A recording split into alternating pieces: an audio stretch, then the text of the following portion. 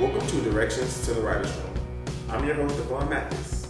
Directions to the Writer's Room is a video project that I was assigned by my professor, Brenda Panado, at the University of Central Florida. It's for my advanced script writing workshop class. The topic of this essay is jobs for writers in the television industry with a special look at the writer's room. The first thing that any good screenwriter should know is that you're probably going to have to move to California. Now, that's not to say that all screenwriting jobs are in California, but a vast majority are. When you make this move, you should already have in hand your spec script. Your spec script is basically your version or an episode of an ongoing show that you've written. So, for example, the spec script for me would be an episode of Grey's Anatomy that was written by myself.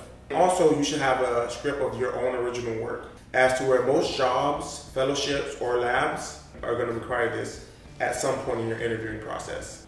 After you've adjusted, you're probably going to want to start looking for a manager or an agent, or maybe both. Now, a manager is basically the sensei of the script.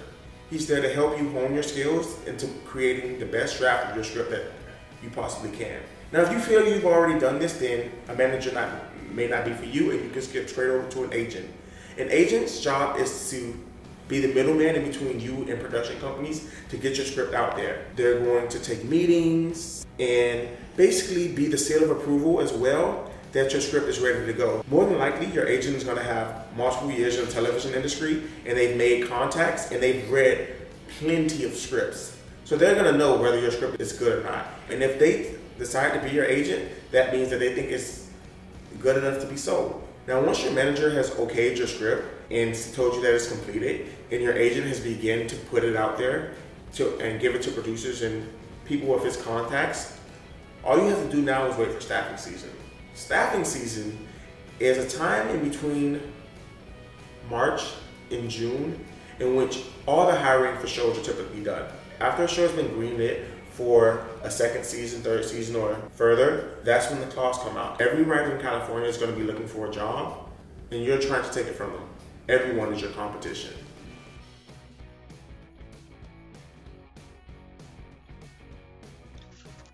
While I was conducting my research on how to receive a job as a writer in, in the television industry, I came across three common methods. The first being the most common was working your way up. Usually this involves internships and being a PA or something like that.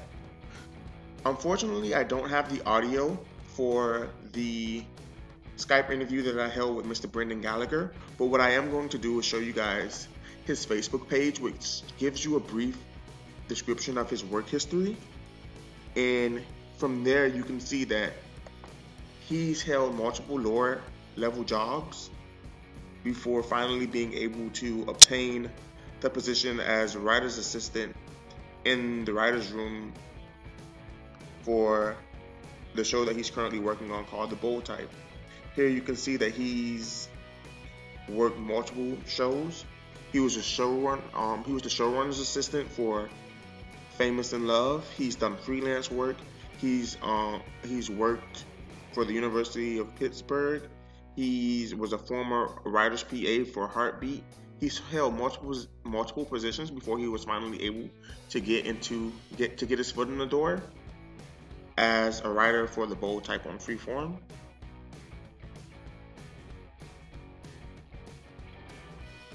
In the television field for writers, the terms fellowship and lab are often used interchangeably, but there's one key difference. A lab is open to almost anyone who applies, and if you're one of the best, then you get selected. The same thing applies to a fellowship, except for the fact that the fellowships are are most often limited to those of certain minority groups, such as women, members of the LGBTQ community, blacks, Asians, Latinos, and it's usually given as a chance for the writer's room to add some diversity to his group, to have people that understand a different background than that of theirs. As you can see, this application for the CBS Corporation was is done by its diversity group and reads The Writers Mentoring Program, or CBS Diversity Program, is not employed in is not employment and there is no monetary compensation. It is instead a structured program of career development, support, and personal access to executive and decision-making process with the goal of preparing aspiring writers for later employment and opportunity in television. This is a fellowship, as it is seeking a diverse group of people to apply for its application. And a little further down, we have Fox's Writer Lab. Fox's Writers Lab is not a fellowship, meaning it's open to any and everyone who applies, and they aren't looking for specific and or diverse writers.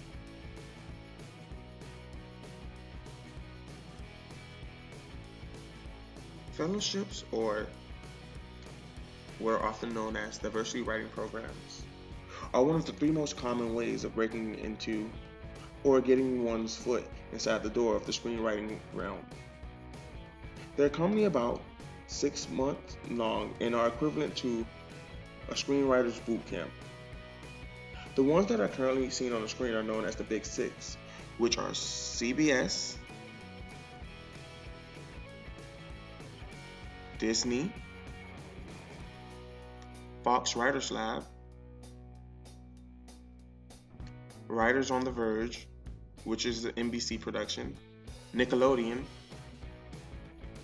and the Warner Brothers Writers Workshop. All of these programs offer up a certain amount of spaces to individuals who want to learn the ins and outs of the screenwriting business. The individuals selected are even allowed to work on some of the network's most awarded shows and even have their spec scripts for the shows given and read to by the writer staff of these shows.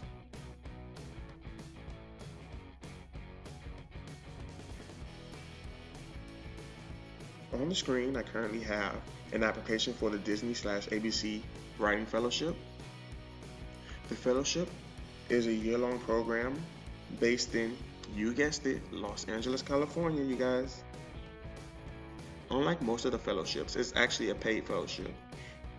It provides a weekly stipend of $961.54, which adds up to annually $50,000. The primary goal of the program is to staff the writers on shows during the one year program. However, staffing is not guaranteed, and it's said that often recipients of this fellowship go on to actually work for the program. In order to become a recipient of this award, there are certain few requirements that you have to meet, such as the usual must be 21 years of age and able to work inside the United States. But there are also a few things that the application must include. The, app- the application must include an original pilot script as well as as well as a spec script, two of two of the things that I previously mentioned. Writers must complete an application and assigned release form for each script, as well as include a resume aligning in chronological order, previous jobs that apply to television and writing, as well as include the salary that they receive for it. This is also where labs and fellowships kind of differ. For a fellowship, you typically have to include an essay which reflects an application of unique life experience in a personal story, which will demonstrate the writer's ability to make distinct contributions to the, to the writer's room. Whereas in a lab, you are required to include a cover letter as in for any other job. And last but not least, well, kind of least because it's optional, is a letter of recommendation. Now, this is not required, but it is recommended. And at the bottom, it goes on to tell you when this application opens, when it closes, and how to apply. Thank you for watching. This is the end of Directions to the Writer's Room. I hope you found it beneficial if you're attempting to find a job um, as a as a writing assistant or just in the realm of writing for um, a television series. Thank you and have a nice day.